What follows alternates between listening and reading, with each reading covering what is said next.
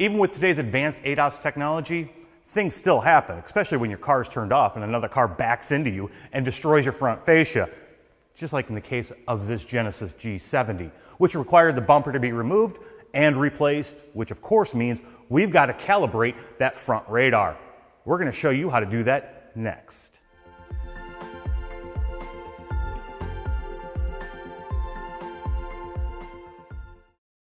Before we begin the calibration process, I do want to give a quick shout out to all of the people, men and women, in the collision industry making cars like this look brand new again. You guys do a great job. I definitely want to say thanks, and I hope everybody can support the collision industry as much as I do. So we're going to go ahead and calibrate that front radar. The bumper has been put on. Now this will pose a couple challenges along the way, and we'll show you what that means, and I'll give you some tech tips along the way to be able to do that. Let's go ahead and get into diagnostics on this vehicle.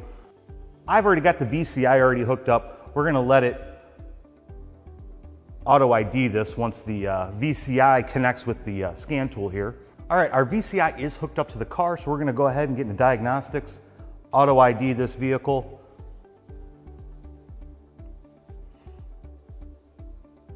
You'll see our Genesis 2022 just showed up. And it's also warning us that there is a secure gateway on this vehicle. The ADASLink does have the ability to unlock that secure gateway so we can do the calibrations we need to do to this vehicle. Again, before we start and actually go into calibrations, we're gonna to want to do a pre-scan. So read DTCs, select all. You wanna make sure there's no DTCs related to that impact collision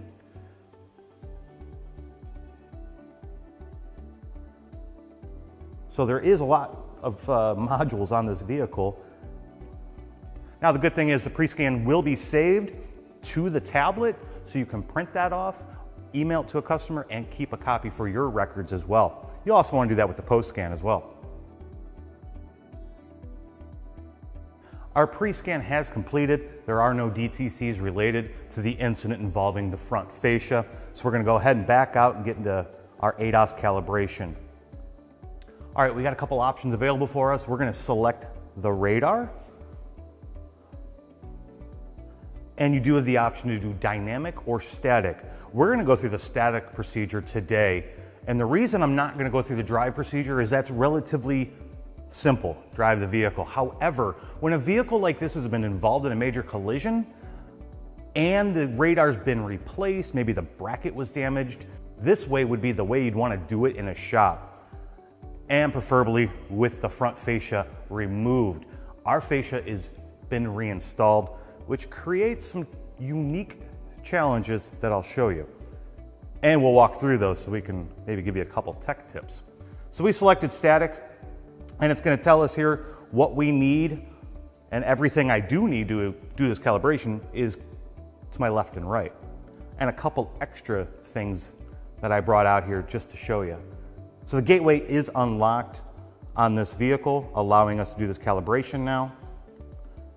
And we're gonna walk through this step by step. You'll notice I'm not using the DAS 3000 rack. I don't need it this time. I need the corner reflector. And of course, once we get into that, it shows us exactly what we need. And I said, there's a couple other helpful things that I have over here that you're gonna wanna use as well. So we'll press continue. Now it's also going to tell you the mechanical mounting should be within specification. There are procedures and there are specifications in the manuals on how to adjust this radar to make sure that it's vertical before you do the calibration. Again, this one wasn't damaged, it didn't have any issues. They did check it with a level before they reinstalled the bumper, or the fascia as you will, and said everything looked okay. Remember, we're going to perform the calibration anytime the fascia has been removed, damaged, new, new radar has been installed, anything where it's been uh, tweaked a little bit or um, moved around. So we're gonna go ahead and make sure that our vehicle's on a level surface, which we have. Make sure your tires are set to the correct pressures, uh, no unnecessary weight in the vehicle. All of these things we've said a lot uh, in the past. You know, good lighting. We don't want anything around us. We want to be in a big open space to do these calibrations. We're going to need a little bit of room in the front of the vehicle for this as well. Here's the oddball thing here now on this one that I've never run across. So on the back of the front radar is a code you need. Now, that poses a challenge to get to that front radar. Unfortunately, my radar is right behind here. This cover does not separate from the grill. So you can see where the radar is, but I can't see the back of it. That creates a huge problem if the bumper's been reinstalled like this one has. I can't go from under the hood because there's an active shutter and it blocks access to this. Going from underneath, you're gonna have to remove the entire belly pan to see if you can get it access like that. So what I found a way to do is one, you could try if you got a small enough one, a small enough, this one's too big obviously.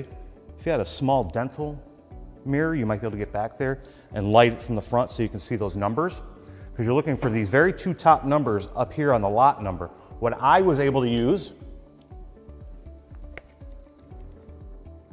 it's basically a bore scope. I was able to get back behind here and using my bore scope and some lights, I was able to read that lot number. It's very difficult to do. This will probably take you more time to do this than the actual procedure, but it did work. Saved me from having to remove a lot of components or asking uh, my friends at the body shop, hey, can you guys take that fascia back off? I, you know, I don't want to do that. So this did work. And I was able to get that lot number that they're asking for because you actually have to enter that a little bit later in the procedure. Mine was 06, by the way. So we're going to go ahead and go through the guided summary and you'll see how much space we need. All right, so we're gonna start positioning our radar stand. We're gonna need our distance measuring tool or laser and the actual black stand. I'm gonna turn this on, set that in there, and it tells you to point it at where the license plate would be. So I'm just gonna kind of go right on this grill here.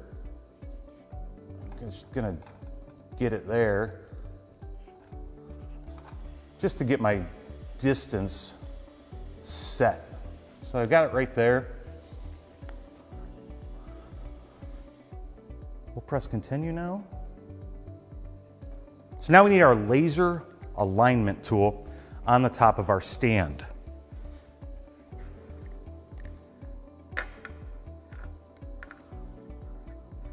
Now, the service information tells us to open up the trunk to use the rear emblem as our center line and match it up with the front emblem on this car. However, there is no emblem to use on the Genesis.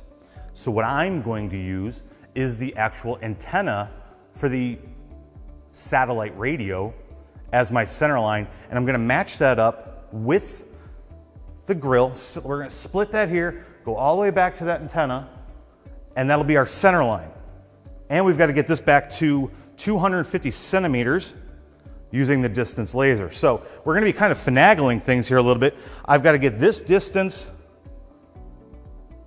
to 250 centimeters. Unfortunately, I gotta turn this laser on, makes a beeping sound. So you can see I'm not centered yet. Let's go ahead and kind of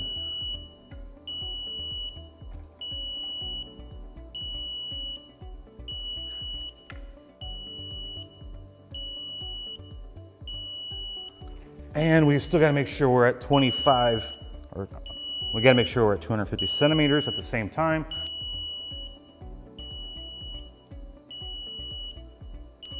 All right, I've got my distance. I've got this center line established as well now. Is adjust the corner reflector offset three millimeters. So right now we're set to zero down here.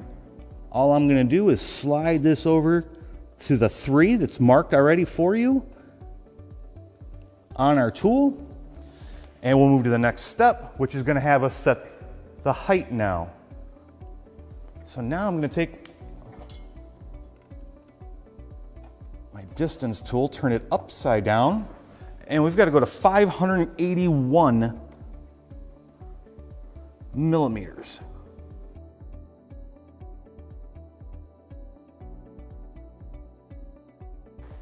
I've got the height set. I've got my offset of the actual reflector. I'm to take this out now. Done with that. And we'll press continue. Now we've got to make sure our alignments stand. We've got, a uh, we've got a bubble there, level, to make sure this is good. Everything's got to be straight. And thankfully, I am perfect right now with level. So I don't need to mess with the adjustment at all. If yours was off, go ahead and adjust it to make sure that that's level. All right, so make sure nobody enters the area during the calibration.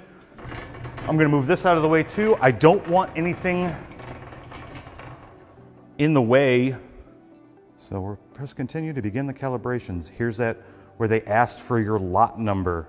So I'm gonna enter 06. And we'll press continue.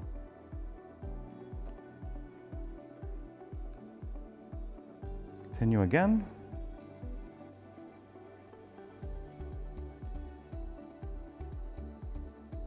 And the calibration was successfully completed. So we're all done. Worked out good. The angles were okay. Everything at the body shop that they did, they did a great job as well.